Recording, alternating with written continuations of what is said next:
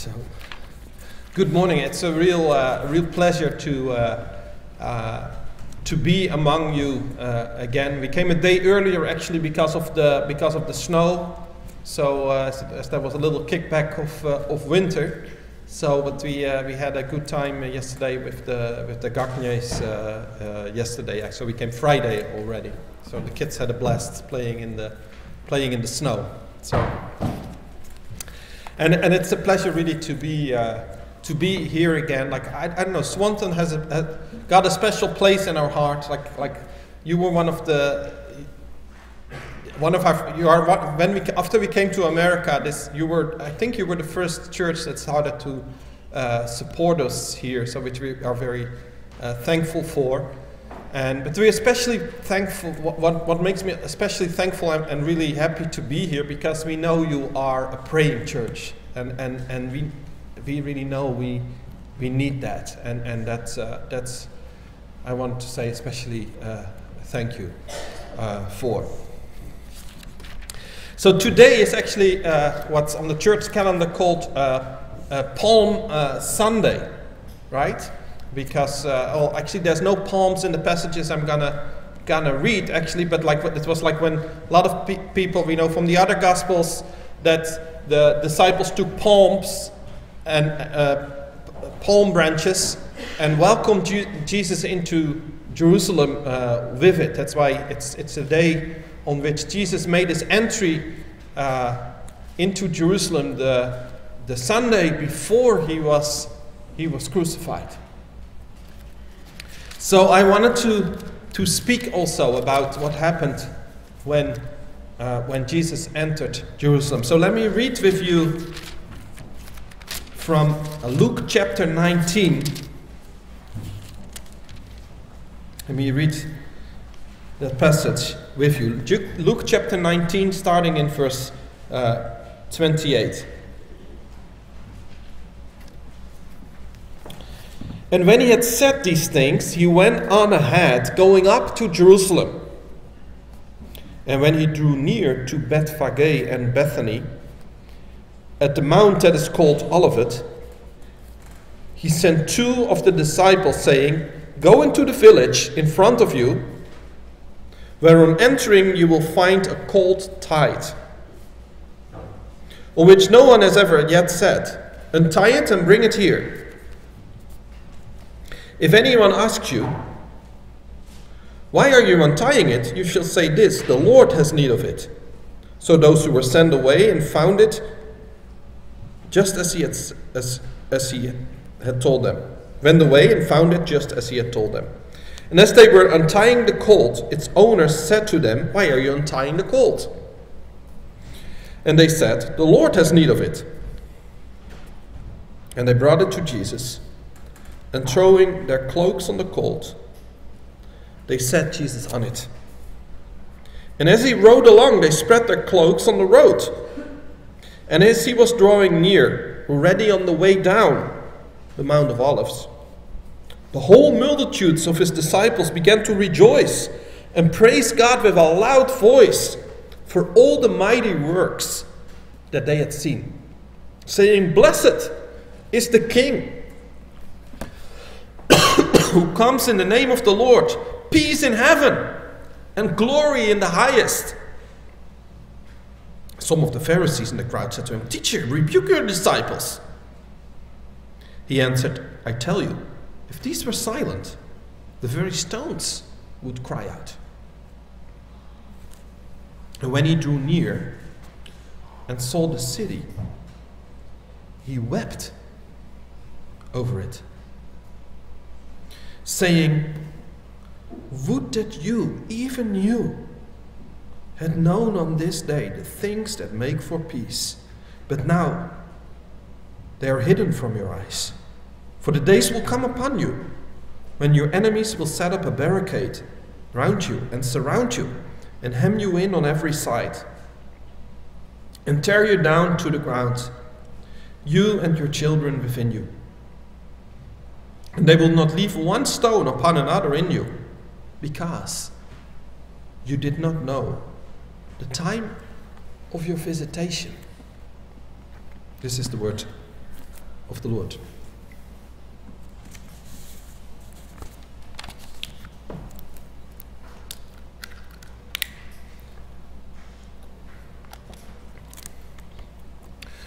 So I'm happy to, uh, to share the word with you uh, this morning, but when I was uh, when I, when I chose the passage for uh, for this morning, I thought of, I, I, I, came upon I thought about Luke 19 because I thought it's Palm Sunday and I was reading it and I thought okay this connects also with uh, with Jewish ministry, but when I started preparing and I felt like well shouldn't I have chosen another passage in the end? Because it, it, it felt a bit heavy. Um, shouldn't I have chosen something a bit happier to, uh, to preach on? But I thought, no, let's be, I thought like we let's be faithful.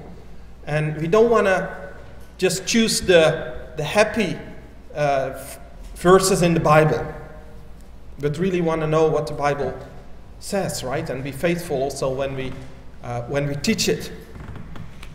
Because, like, you know, a lot of Bibles they put above this passage, like, like the, the, the name, like the triumphal entry, right? And that's okay. But especially above verse 41 and 44, I think we could better write the weeping entry, right?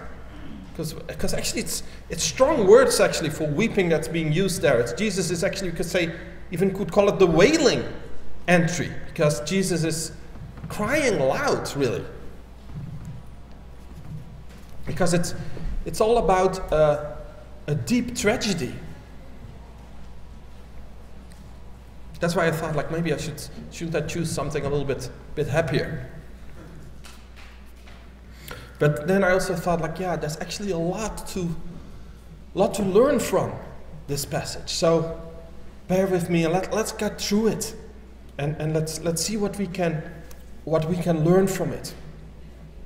And so, the, so I'd like to give the, the title of, uh, of this morning's message like the, the tragedy which made Jesus, which makes Jesus weep. The tragedy which makes uh, Jesus weep. And let's first look at the, at the setting, and then a closer look at the, at the core of, of this tragedy, what, what's going on, what's, what is the real heart of it.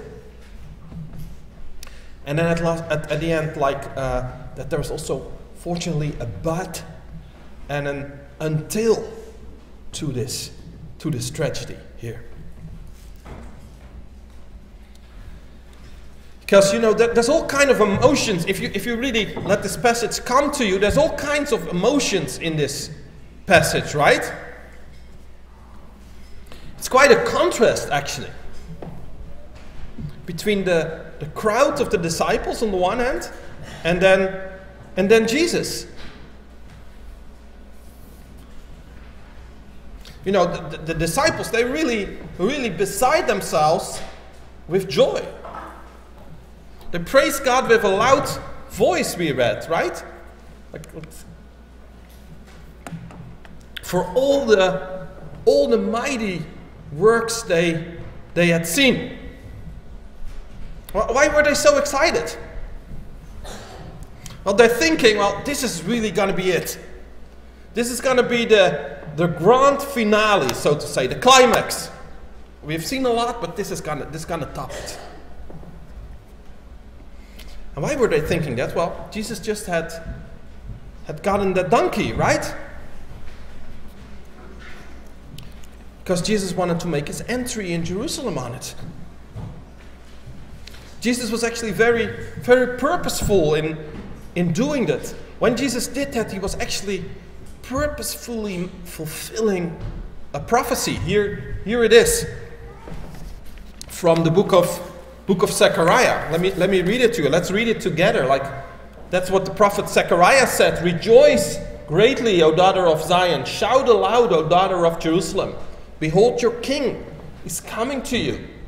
Righteous and having salvation is he, or, or being saved, means God will really help him through.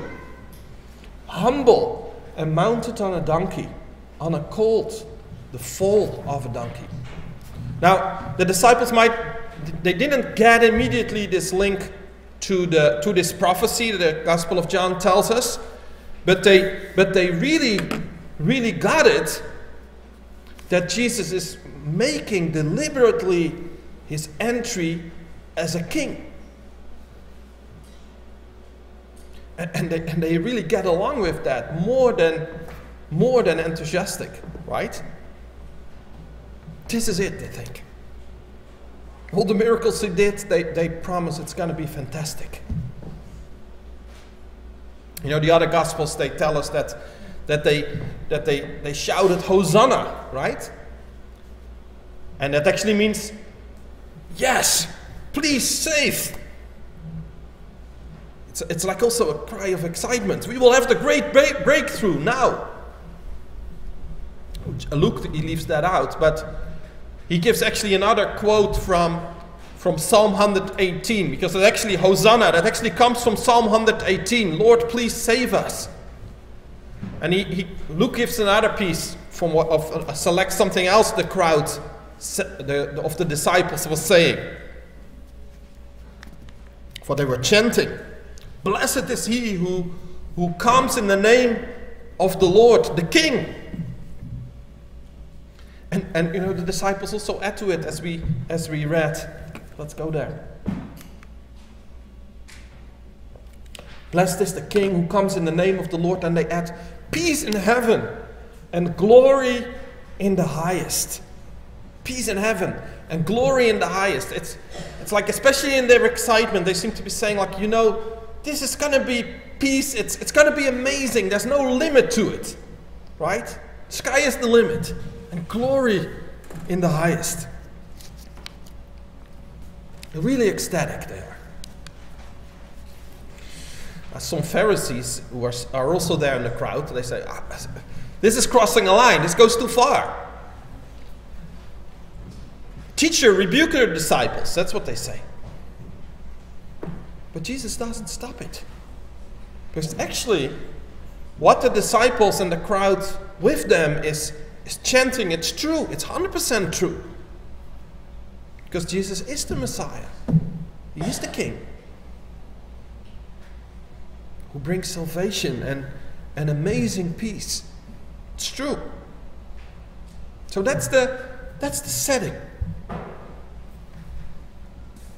But then Jesus sees Jerusalem as he's coming down from the Mount of Olives. And suddenly, he burst out in tears. And he says, Would that you, even you, had known on this day the things that make for peace. Talking about peace. That what leads to peace. But now they are hidden from your eyes. In other words, O Jerusalem, I wish that you would get it. But you don't. And it will have dreadful, dreadful consequences. For Jesus continues, For the days will come upon you when your enemies will throw up a barricade against you and surround you and hem you in on every side. And they will level you to the ground, you and your children within you and they will not leave in you one stone upon another. Now, that's what, what historically also happened 40 years later. The Zealots took, took over in Jerusalem. Yet the revolt against the, against the Romans, disastrous results. Jerusalem was completely destroyed in the, in the year 70. And then again, 50 years later, you get a second, second revolt against the Romans. Again, disastrous destruction. Dreadful. But that, that Jerusalem chose this mistaken political path, it's, that's only scratching the surface still of what makes Jesus weep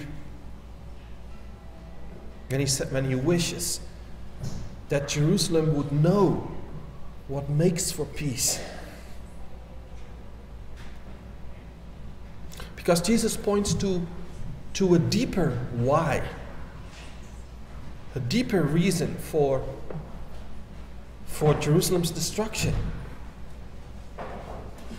Because we say it, he says it also because you did not know the time of your visitation.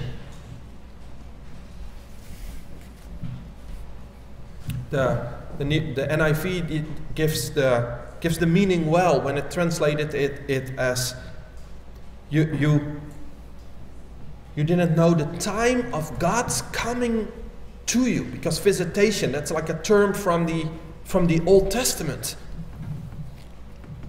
It's about it's about God's visitation, God coming. And you're missing it.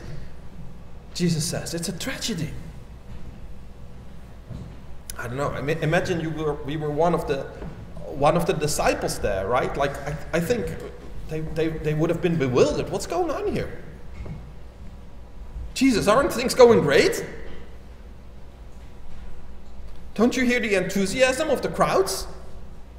Right? What's wrong? Well, Jesus, he, he knows more and he, he sees deeper. Yeah, the disciples are getting it that, that Jesus is the Messiah, the King of Israel. And he indeed will bring amazing peace. But how does he do it? That's something the disciples aren't getting yet. Yeah, a week later, then they will understand. But not yet. And, Jerus- and Jesus also understands that the majority of Jerusalem, in the end, will not get it at all. That's the tragedy. Let, let's, get, let's explore this and let's, let's get a bit deeper into this. Yes, Jesus knew that, uh, that the people wanted to make him, wanted to make him king that they were looking for, for a strong leader. There's a worldly, worldly lust for, for a strong leader who will, who will fix things for them. Everything that doesn't sit right with them. Not much change today, right? But Jesus also, also knew that, that they didn't like that they wouldn't like his way that they wouldn't like the way in which he is a leader. That's not the kind of leader the people wanted. Jesus knows that, that the people are not getting it. Why he came not on a horse, but, but on a donkey, humbly, without pomp and, and circumstance. There's also this. You know, Jesus is actually quite annoying, actually. He comes all the time with this, with this message of repentance. A message that the kingdom is for those who are, are poor in spirit. And takes what and take and take what's just happening after this event. It, it must have been a bit of an anticlimax for the crowd, like a disappointment for the crowd, really. They welcomed, welcomed him as, as king, but no, he doesn't start kicking out the bad guys. And they, and they had really bad guys back then. He, he does nothing about it. He only goes to the temple and he starts to point out what's wrong there. He starts to drive out everybody who sold something there, saying they made a den of, den of robbers of it. Yeah, Jesus, he knows that, that the people want, want the Messiah who makes everything good for them. A Messiah who gives health wealth, and prosperity. But not a Messiah who, who puts his finger on, on our sins and calls us to, to repentance. Let's also explore a little bit more what Jesus is saying when he says, You didn't know the, the time of your visitation, Jerusalem. Jesus knows that Jerusalem is not getting it. When actually God is coming to her. You know, John the Baptist, he said it. He was quoting from the, from, from the prophet Isaiah. The voice of one calling in the desert, prepare the way of the Lord. In other, in, other, in other words, the Lord Himself is coming. And He came indeed. But He came in the person of Jesus. He came humbly. And not only that, He died a horrible, horrible death on the cross.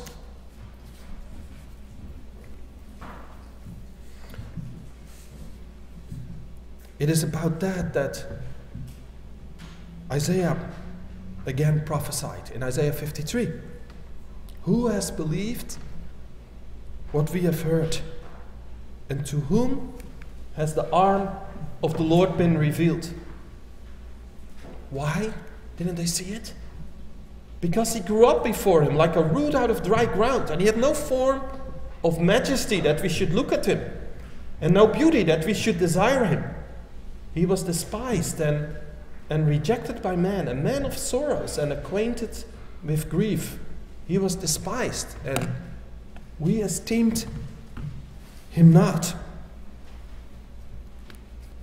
Jesus knows that the people want a Messiah, but not a seemingly weak, crucified Messiah. Yeah, the apostle starts to start to preach it in Jerusalem about 50 days later, 60 days later, that the cross wasn't the end and that Jesus rose from the dead. And that exactly by dying and by coming so humbly, Jesus was the arm of the Lord. God Himself saving us. And with that, the, the message of repentance came again to Jerusalem. But Jesus knew when He came down the Mount of Olives that the majority of the people in the end would not believe this message. That's the tragedy. And it broke Jesus' heart. Jesus was wailing, we even, we even could translate. He knows the dreadful consequences.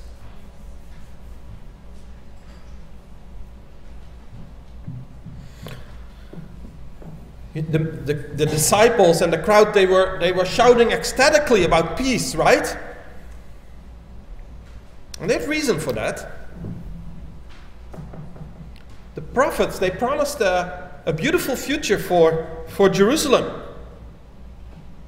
And that's, by the way, still today a good starting point for conversations with, uh, with Jewish people. God's promises to Israel and, and how they will be fulfilled. God promised so much beautiful things, but, but how will they come?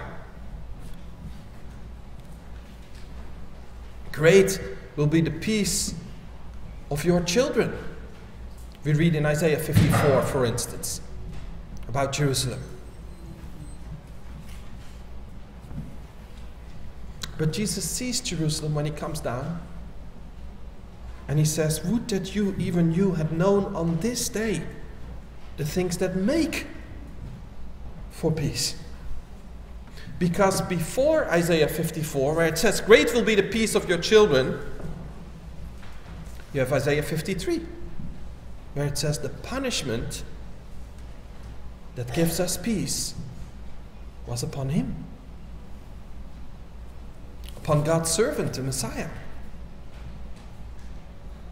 And without recognizing that, there is no peace for Jerusalem. On the contrary, it's a tragedy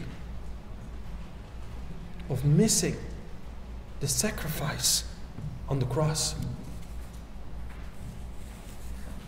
And, and that's a tragedy that's, that's unfortunately still going on for many Jewish people.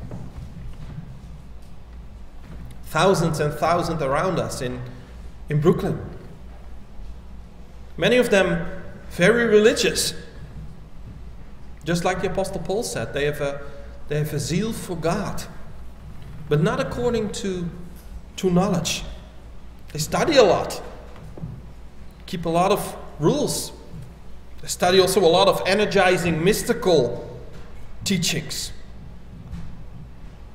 But they, they miss the, the visitation of God, the coming of God in Jesus. It broke Paul's heart. It broke Jesus' heart. Because he knows it will, will remain hidden for the eyes of many in Jerusalem. What he came to do. Because of their lack of repentance and faith. But before we talk more about, uh, about the Jewish people, I believe let's, we have to ask first ourselves the question Are we seeing the things that make for peace? Are we seeing God's coming in Jesus, His visitation? Special way in which Jesus came. Are we getting it? Are we getting the cross. I think that's the core of the tragedy. Because the glory of Jesus, it's, it's, it's a strange glory. It's the glory of the, of the grain that falls in the earth and dies. And which exactly that way bears much fruit. Well, we, we might say, well, you know, that's uh, Sunday school one on one. Everybody knows it, right? Jesus died for, died for our sins. That's what, uh, that's what the cross means. Maybe we can even put it nicely in, in theological, fancy theological terms. The cross is it's about substitutionary atonement. And don't get me wrong, because it is. That's 100% that's 100% true. That's the core of the of the good news. That Jesus took our place. That he died for us. So our sins could be atoned for. He for he for you. He for me. That is the good news. But still, are we really getting it? Amazing love. How can it be that you, my King, would die for me? Are we getting it? That that was, was necessary, not just as a thing that we know, like, of course. And are we also getting this, this annoying repentance part, which was part and parcel of Jesus' message? That we have to admit that we are, we are sinners in deep need of, of God's grace.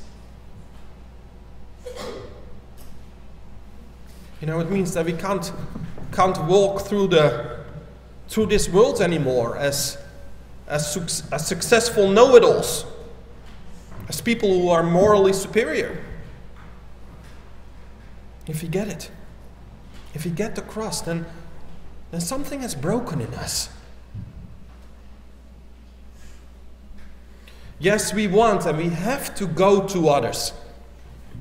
with the good news that there's no other name than the name of Jesus by, by which we have to be saved. But we bring this message as, as beggars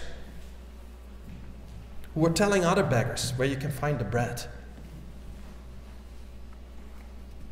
And are we getting the part that, that if it's true that he, that he died for me, that it then takes our, our entire life? That I'm not my own anymore? That we owe everything to him? And that we, that we want to follow him now? That we, we are losing our lives at the cross?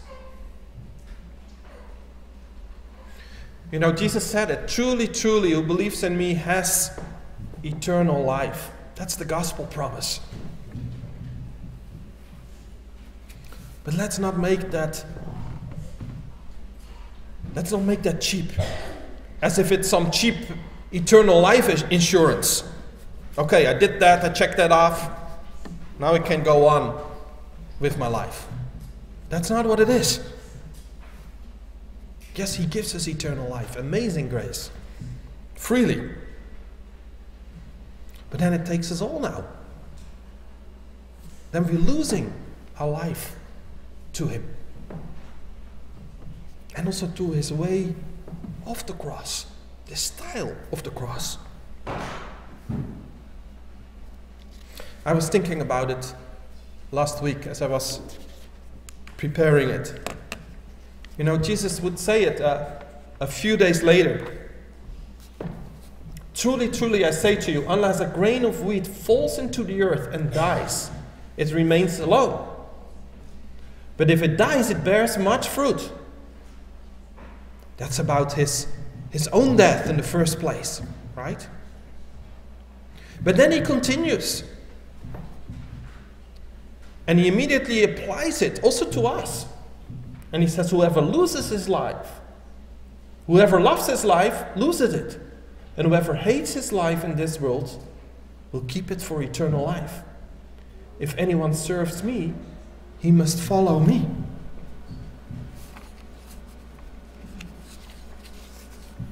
Jesus said it clearly. If anyone wants to come after me, let him deny himself and take up his cross and follow me.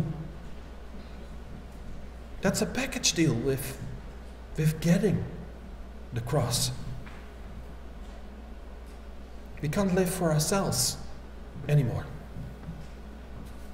What do we live for? And how do we live? Are we just living a life seeking our own comfort and, and pleasure? Or are we willing to live a life in the service of God and others? And also, even if we if we go for good causes, how do we go about it? Are we about dominance? Fighting for our rights? Or are we also willing to go the way of the cross? Willing to be a, a faithful minority, maybe? That's quietly a salt and a light. It's maybe even persecuted. Are we getting the cross? I'm, I'm asking myself also. Are we getting it the way Jesus went for us? And the consequences that, that it has. Jesus is in tears as he, as he sees Jerusalem and, and as he knows that the majority of, of Jerusalem won't get it. It shows there is an urgency in this. Especially if you if you didn't get it at all yet. What Jesus did for you on the cross. And the consequences are disastrous. The fact that Jesus breaks out in tears, it's an urgent warning. But also, it shows the heart of Jesus. It gives me also the question Is my heart as broken for the lost as Jesus' heart is broken.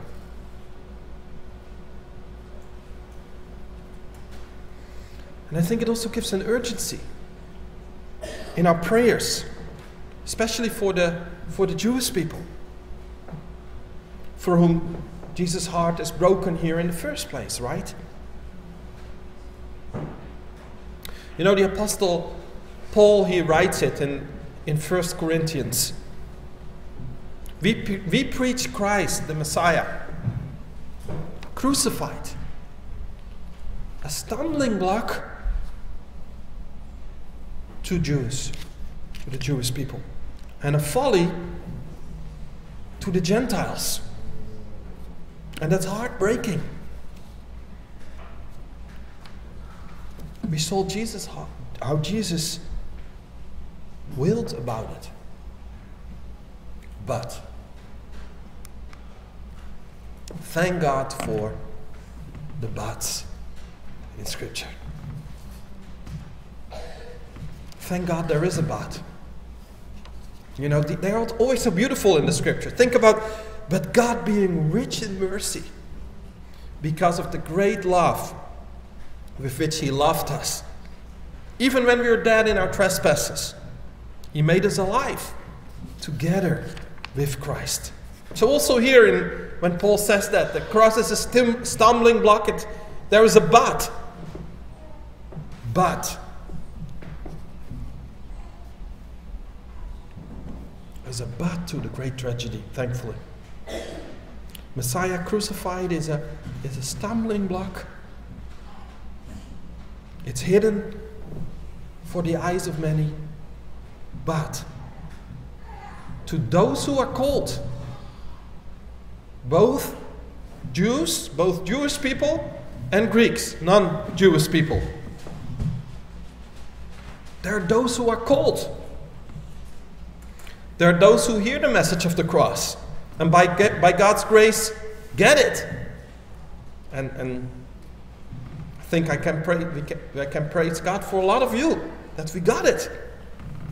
It's the mercy of God that the gospel call to faith was, was effective in us.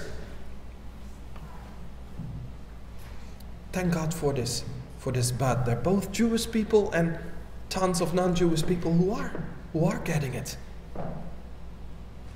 Also among the Jewish people today there is a remnant, as the Apostle Paul says it, according to the election of grace. People who, who get the cross or maybe it's even better to say the message of the cross gets us. We start to understand and we, and we keep growing in that understanding that the cross of Jesus is actually the power of God and the wisdom of God. That's the but to, to the tragedy. That's thankfully there too. And then also, especially when we think about Jerusalem, we still have to add there's also an until to this tragedy which made Jesus weep. You know, a few chapters earlier in, in Luke chapter 13, Jesus says, It's again a lament. Oh, Jerusalem, Jerusalem, the city that kills the prophets and stones those who are sent to it. How often would I have gathered your children together as a hen gathers her brood under her wings? And you would not. But then he continues. First, talking about the tragedy again. Behold, your house is forsaken. Yes, Jerusalem was destroyed. And I tell you, you will not see me. But then there is an until. And let's underline that. Until you say, Blessed is he who comes in the name of the Lord. You see the promise here? The tragedy that, Jesus, that Jerusalem is not getting it will not last forever. There is an until. God said it through the, the prophet Zechariah. I will pour out on the house of David and the inhabitants of Jerusalem a spirit of grace and of, and of supplication, so that they will look on me, whom they pierced, and mourn for and they will mourn for him as one mourns for an only son. There is a day coming when the people of Jerusalem will recognize the crucified Messiah. And then we actually also read it in, in, in, the prophecies of Zechariah. In that day, a fountain will be opened for the house of David and for the inhabitants of Jerusalem, for sin and impurity. Because in that day, Jerusalem will know what is for their peace. Then the, the confession of Isaiah 53 will be Israel's confession. Israel will get it. He was pierced for our transgressions, He was crushed for our iniquities. The punishment that gives us peace was upon Him. Yeah, and then there will be a real triumphal entry that will not end in weeping. It's interesting, actually. You know, when Jesus entered Jerusalem that first time, there's first this great excitement. And then Jesus weeping. But when he will come the second time, yes, then there will be weeping too. First, the weeping of repentance and, and recognition that they were wrong about Jesus. But then, it will turn into this limitless peace. It will really come what the disciples were so excited about. And then the people will say it again. Now, with the full recognition of who, of who Jesus is. Blessed is he who comes in the name of the Lord, recognizing what made for their peace. That the punishment of our peace was upon him. Now, in that light, like so, about this, on the one hand, this tragedy, but also this, uh, this, this but that there, is, there are people, that there are Jewish people who, who see it and, and waiting for this, this until. We, we also can do our, our ministry in, in Brooklyn. And, and so I was thinking, like, okay, just 10 minutes or so to, to share something quick